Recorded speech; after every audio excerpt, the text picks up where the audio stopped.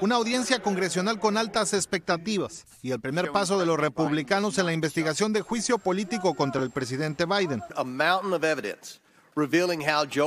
Hay una montaña de evidencia, declaró el presidente del comité, de que Joe Biden usó su posición para favorecer los negocios de su familia, a lo que demócratas respondieron con tres cajas llenas con miles de páginas de registros bancarios. En ninguna hay siquiera 10 centavos de irregularidades, argumentó este congresista. No hay nada que dice que Hunter Biden lo hizo lo hizo y el presidente uh, recibió los beneficios. Es una farsa. No, no, hay, no hay nada que han presentado que dice que el presidente ha hecho algo algo malo, algo ilegal con, con, con, su hijo. Y es que incluso los testigos citados por el comité consideraron que no hay evidencias de un crimen. Las pruebas son insuficientes, consideró este experto en derecho convocado por los demócratas, a lo que se sumó el testigo principal de los republicanos.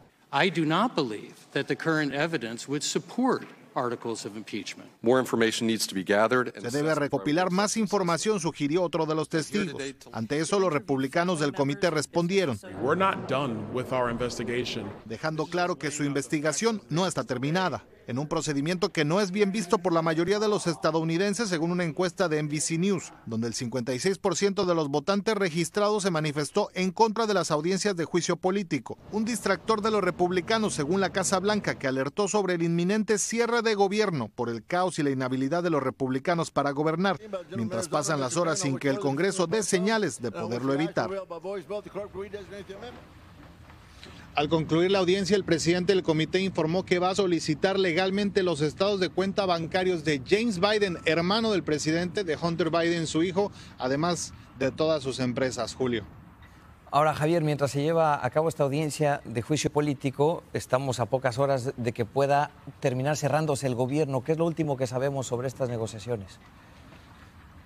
Pues que todavía no hay acuerdo, Julio. Incluso el gobierno federal está ya advirtiendo a sus empleados que este cierre podría ser inminente. Mañana McCarthy intentará votar una propuesta, pero va a ser cuesta arriba con cuestionamientos de una veintena de miembros de su bancada, mientras el Senado planea votar una propuesta el sábado, pero esta propuesta sigue sin gustar en la Cámara Baja. Julio, seguiremos atentos. Muy atentos y estamos ya contra el reloj. Gracias, Javier Vega.